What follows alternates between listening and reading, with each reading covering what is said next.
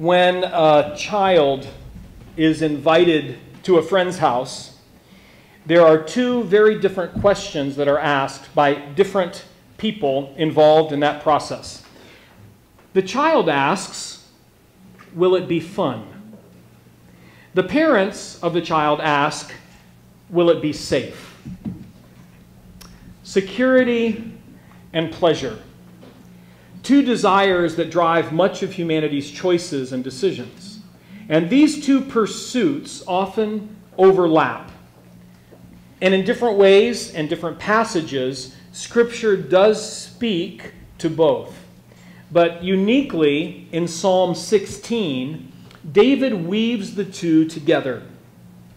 One could easily call this psalm an ode to security and pleasure. And throughout this poetic expression of worship, David calls upon the people of God to join him in making five specific, distinct choices regarding their pleasure and their security. So as I read Psalm 16, please, you're welcome to follow along, but I'd also like you to listen and see if you can identify those five choices. Keep me safe, O God, for in you I take refuge. I said to the Lord, You are my Lord. Apart from you, I have no good thing. As for the saints who are in the land, they are the glorious ones in whom is all my delight. The sorrows of those will increase who run after other gods. I will not pour out their libations of blood or take up their names on my lips. Lord, you have assigned me my portion and my cup. You have made my lot secure. The boundary lines have fallen for me in pleasant places. Surely I have a delightful inheritance. I will praise the Lord who counsels me. Even at night, my heart instructs me. I have set the Lord always before me. Because he is at my right hand, I will not be shaken. Therefore, my heart is glad and my tongue rejoices. My body also will rest secure because you will not abandon me to the grave, nor will you let your Holy One see decay. You have made known to me the path of life. You will fill me with joy in your presence, with eternal pleasures at your right hand. The first choice that confronts David the psalmist, and by extension confronts us, is the choice of source. Who or what will be the source of our security and our pleasure? Where will we go to find these things? David is clear in his answer. He takes refuge in God. God will be his security. Now, we've already seen the theme of the refuge in the last two Psalms that we've studied. And here we find it again in the first verse For in you I take refuge. What about you? What about us? Where do we go for security, for refuge? What's your source? Is it your investments? Is it your salary? Is it your work? Your family? Is it in different forms of addictions, alcohol, drugs, gambling, sex? Where, where, what, what is your refuge? Where do you go to look for, to seek out security?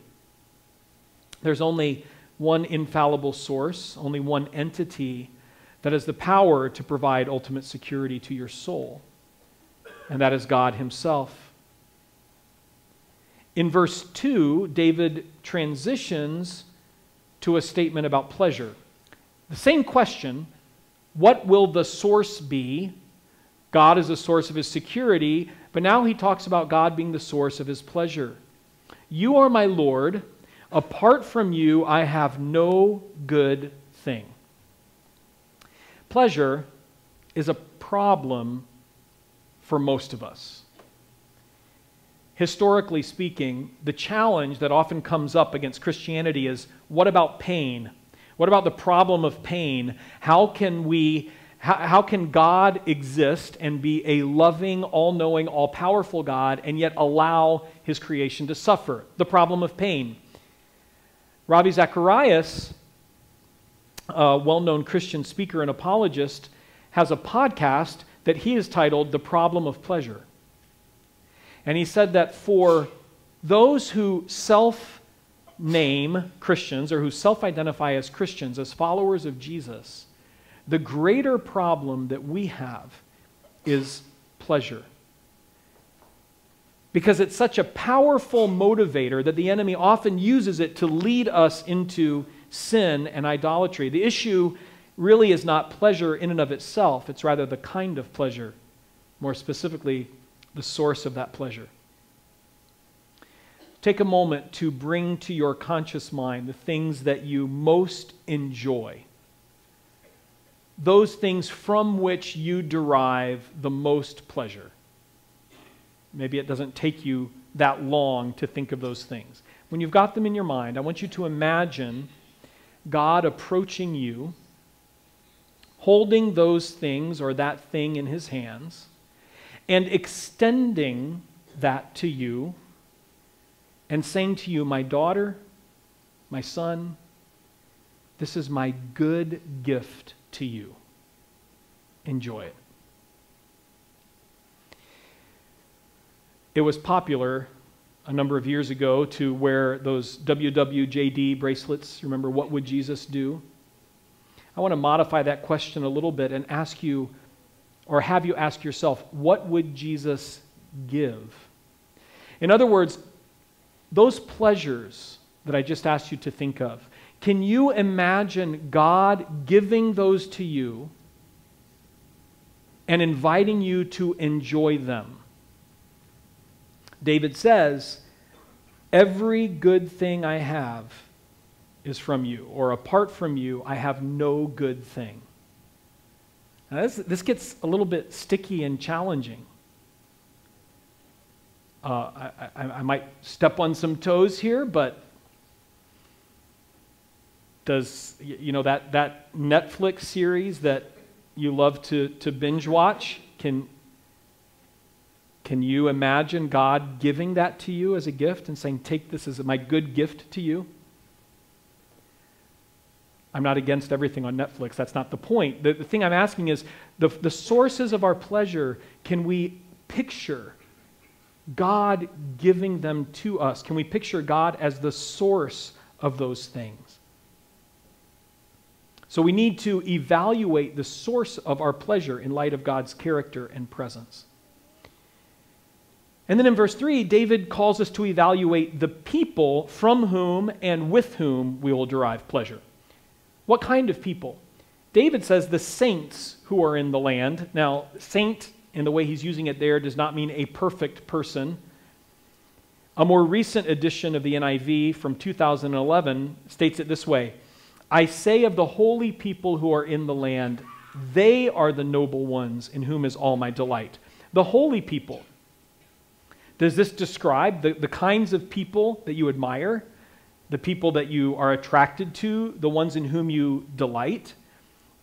I think more often uh, we're drawn to the empty souls of Hollywood or the shattered lives of famous singers, performers, rappers, bands maybe to the promiscuous lifestyle of the professional athlete. In short, David here is asking us to choose our friends and our heroes wisely. And he's saying, I have chosen that the people in which I'm going to delight, the people from which I'm going to derive pleasure, that I'm going to interact with, they're going to be the noble people. They're going to be the holy people, the saints, the ones that belong to God, the ones that are committed in their lives to pleasing God. So, again, I want you to think about your current situation. If you're a, if you're a student right now, so an adolescent or a child or maybe a university student, how do you choose the people in whom you will delight? How do you choose the people with whom you want to form friendships? Uh, is it based primarily on, on appearance or maybe influence or power, maybe, maybe possessions or money? Or is it the people who are quietly committed to a holy life with God? Who are the people in whom you will find pleasure and delight? This opening section of the psalm closes with verse 4 as David reminds us of the alternative. The consequences of seeking security and pleasure in anything or any place other than God is that the sorrows of that person will increase. Those who run after other gods will suffer more and more.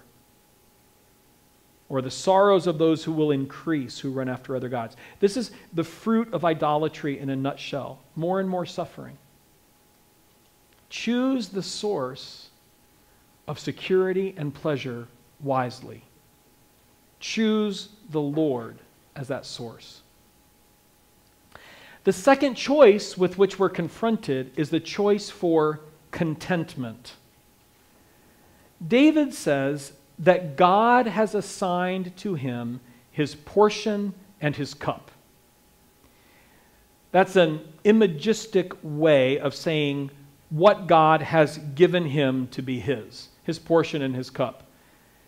The thing with portions is, is, is, is you can imagine sitting at a meal and someone else serving you, and the portion, whatever they put on your plate, that, that's your portion. And making a choice to be content with that portion. When I was growing up, there, we had some very clear rules about what we were allowed to say and not allowed to say about food that was served to us, usually by my mom. And one thing we were never allowed to say is, I don't like this. Now, that phrase, I don't like this, it was interpreted very broadly. What do I mean by that? This could be interpreted as, I don't like this. could be interpreted as, I don't like this. So we had to be very careful because what was the, what was the consequence? The consequence of expressing displeasure with the food that was assigned to us was a double helping of that food served by a parent, not by your own self. We were allowed to say, I don't prefer this, but we had to say it joyfully. I don't prefer this.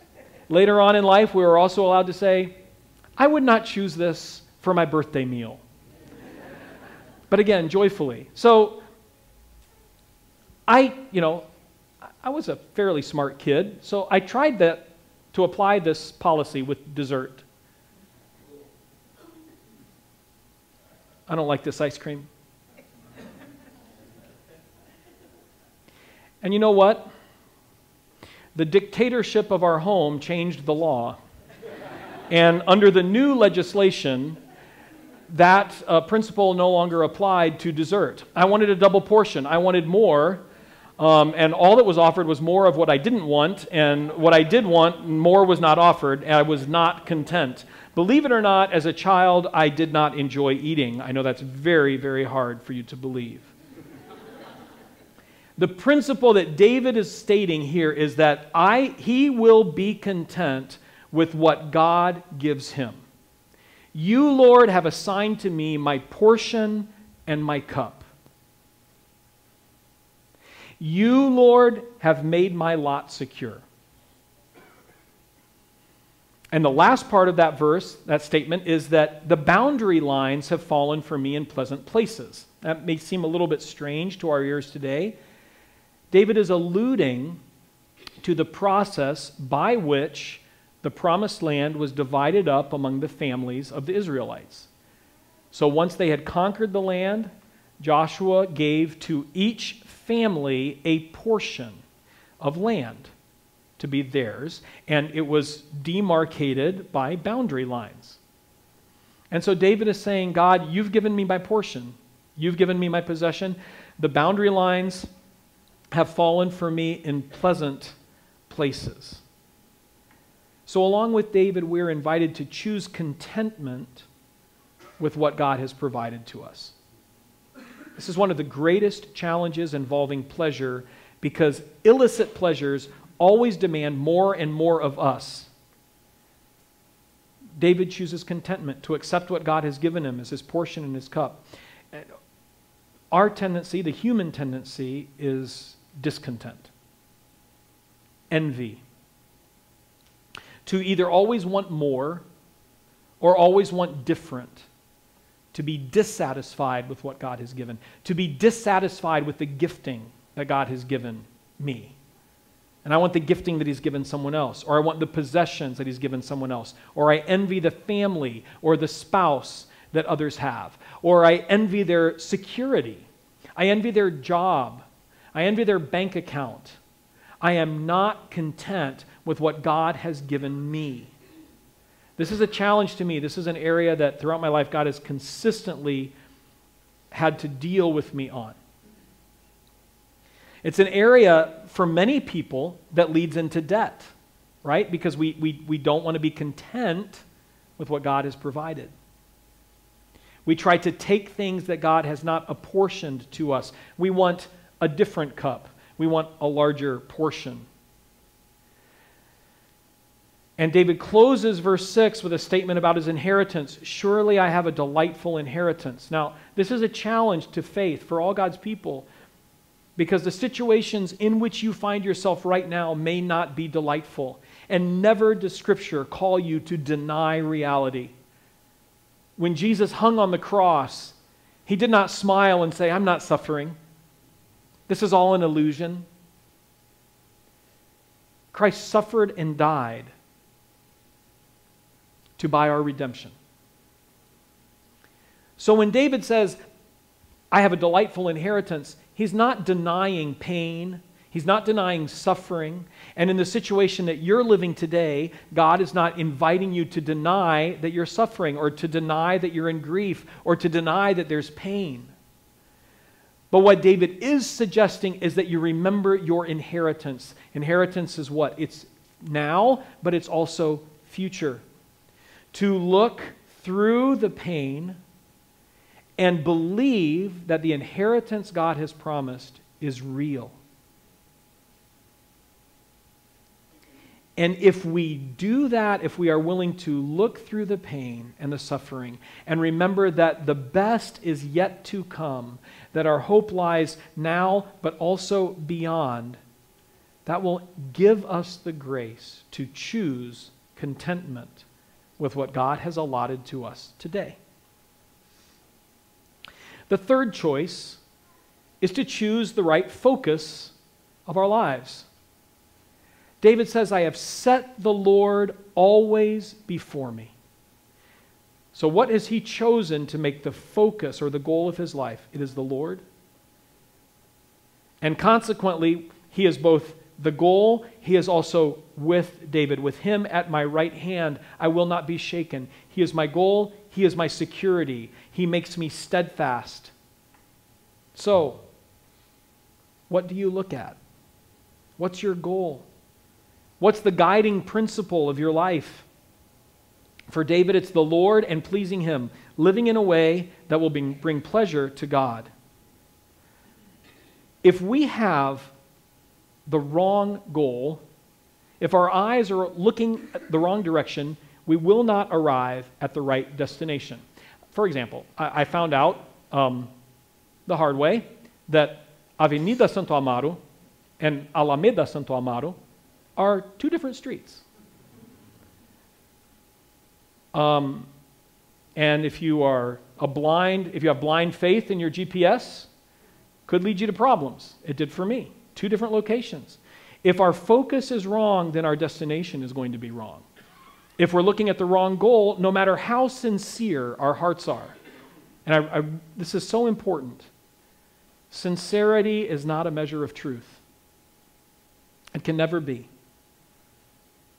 I can be sincere in heading toward a goal, but if it's the wrong goal, my sincerity will not take me to the right goal or the right destination. So, have you ever consciously decided that the goal of your life is to please God?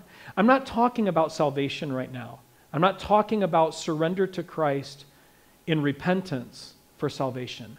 I am talking about after salvation, after redemption, intentionally making the goal of your life the pleasure and faithfulness to God. And the result of that choice of making God the goal is security. With Him at my right hand, I will not be shaken. The fourth choice is to choose joy. Therefore, says David, my heart is glad and my tongue rejoices. My heart is glad and my tongue rejoices. Now, we might look at David and say, Of course you're glad and of course you're rejoicing. You're a king. You have everything you could possibly want. You have servants at your beck and call. You live in a palace. You have influence. You have power. You have authority. Of course you're glad. Of course you're rejoicing. Even a cursory reading of the Old Testament will show us that David suffered a lot. Yes, he was king. Yes, he had all those benefits, but he suffered deeply. Some of that suffering was due to a result of his own sin. We've even seen this recently. But a lot of it wasn't. Earlier in his life, for years, David was a fugitive, an outlaw living in caves, living in the wilderness, being persecuted unjustly by King Saul. David saw his own sons turn against him. He saw murder in his own household, rape in his own household. There was profound suffering. So David's not saying this, therefore my heart is glad and my tongue rejoices, because his life has all been easy and perfect. It's a choice joy, or at least the decision to rejoice, is a choice. It's a choice based on faith faith that he knows his ultimate destination. He says that God will not abandon him to the grave, that God will not let him see decay. This is not a statement on David's part that he believes he's immortal or that his body is never going to die. He's saying that the grave, death, is not the final destination for someone who belongs to God. For a child of God, death is a passage point, it's not a destination. And he's convinced that God will not abandon him to the grave. Death is not the end. So, even in the challenge of daily life, David rejoices over his future and over the presence and promise of God. Rejoicing and thankfulness often go hand in hand. Generally, I think we imagine rejoicing being a response to circumstances. When things are going well, when things are happy, when I have everything I need and, and, and things are easy, I rejoice. When life is hard, when there's suffering, when there's illness, when there's grief, then we don't naturally tend to rejoice. But I want to present a challenge to us all to rejoice in the grief, to rejoice in the suffering, and again, not denying or ignoring the pain, but choosing to look through it to our final destination. There's hope on the other side. We grieve the pain and loss of this life, but we rejoice in the promise that God has given us of the future. And so I invite you to, to make a rejoicing, a list of rejoicing like we've done with a list of thanksgiving before. In the trials, in the hardship in your life now, for what can you still rejoice in, in the Lord? What blessings has He still given you? And make the choice to focus on a glad heart and a rejoicing tongue, to choose joy. The final choice of these five is the choice to choose eternity. Chapter, um, I'm sorry, verse 11 of the psalm is one of my favorite verses, but it's one that challenges me almost every day. You have made known to me the path of life. You will fill me with joy in your presence, with eternal pleasures at your right hand. The first challenge is to follow the path of life that God has revealed. And we understand today that this path begins in the person and work of Jesus Christ. The Son of God who came to earth, lived a human life, died an innocent death, and rose a divine resurrection.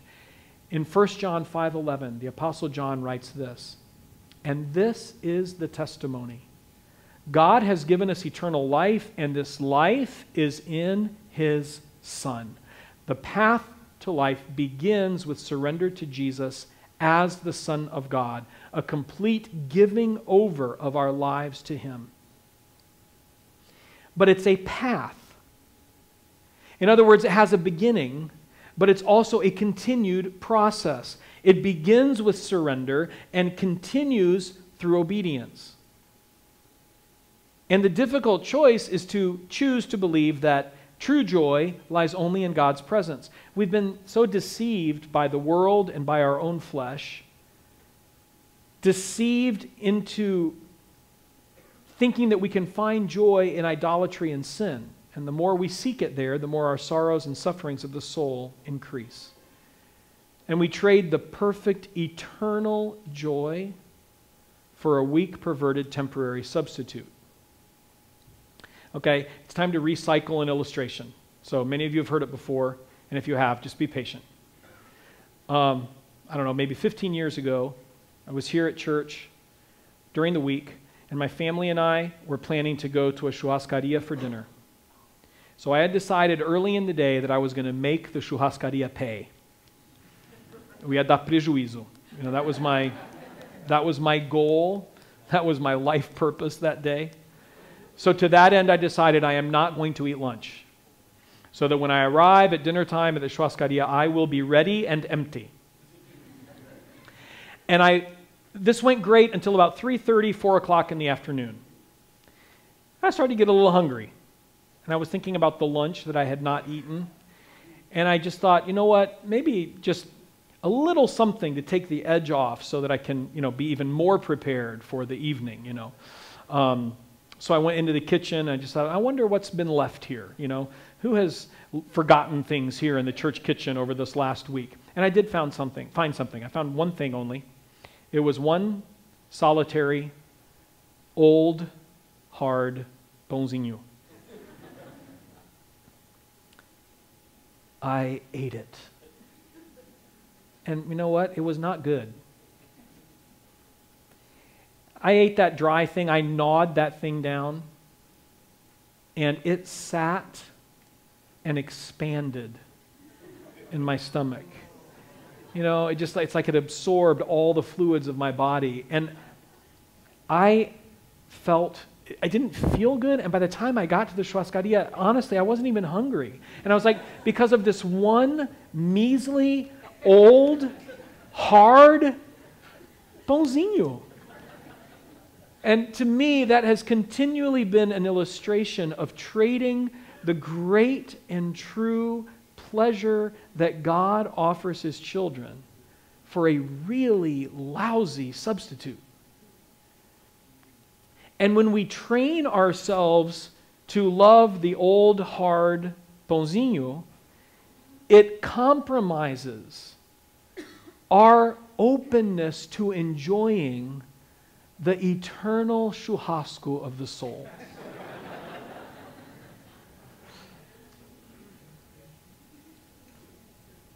now, one reason that we choose the pãozinho is because we don't believe in the eternal churrasco of the soul. We read the last phrases of, of, verse, six, of verse 11, and it says that God is going to fill his people with eternal pleasures at his right hand.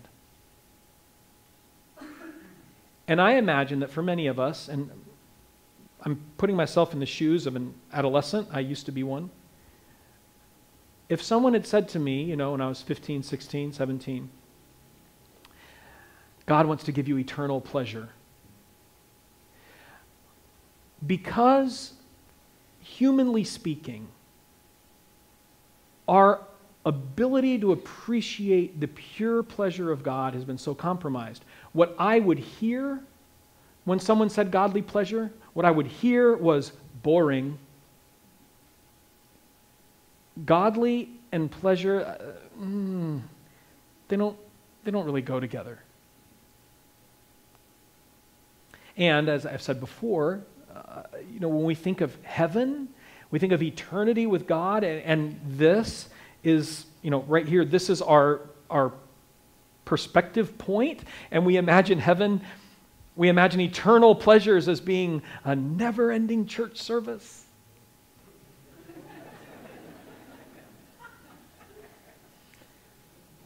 I'm a pastor, I don't want a never ending church service. And the issue is that we have become so compromised by sin and by idolatry that we cannot conceive that when God says something is pleasurable, it will be pleasurable. And when He says that it's eternal, it will be eternal. And that it will be pleasure that does not generate guilt, pleasure that does not generate shame pleasure that does not generate self accusation, and pleasure that does not have an end or limit. Now, because our ability to appreciate pure godly pleasure has been compromised by sin, because of that, the growth in the ability to appreciate godly pleasure does include an aspect of discipline. Here's another free, honest confession. My brother is an opera singer. I am proud of him and I love him and I do not enjoy opera. At the same time, I can look and say, I I understand that the performance of opera takes profound commitment, practice, dedication, and skill. I can say that, but I don't enjoy it. For me to learn to enjoy opera would take a lot of investment on my part. I think I could probably get there. And as God begins to mold us to prepare us for pure, godly pleasure that's going to last forever, that will be truly pleasurable, the process of that is a process of discipline and it's a process of perseverance and obedience. I've used the example before of learning, for me, learning to drink coffee without sugar.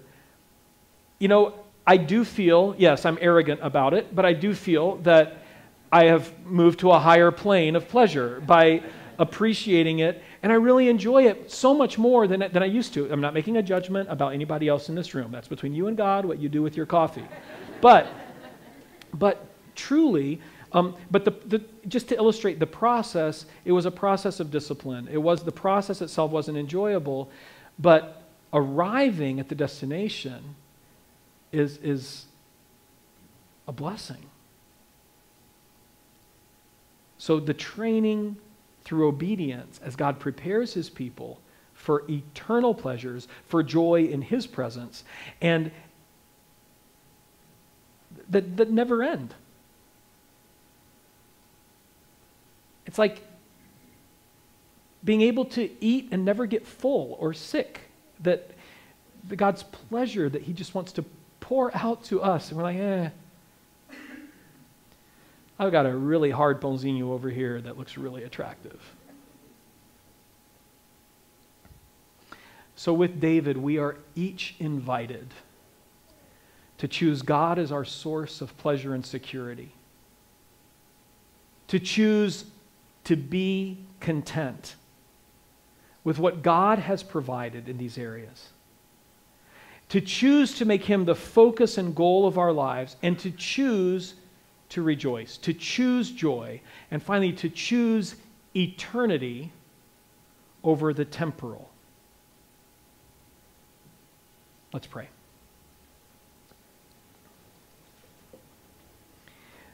Lord, we acknowledge that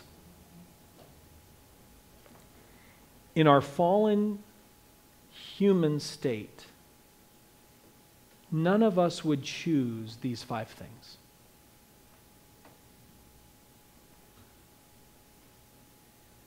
And we acknowledge that it is only because of your grace and mercy working in us, that we can then choose for you to be the source of our pleasure and security. That we can choose the, eternal, the eternal over the temporal. That we can choose to be content, choose to rejoice, and choose for you to be the focus of our lives. Have mercy on us, Lord. We need it. Give us the grace to encourage and uplift those who are around us, our brothers and sisters, your children. We need each other.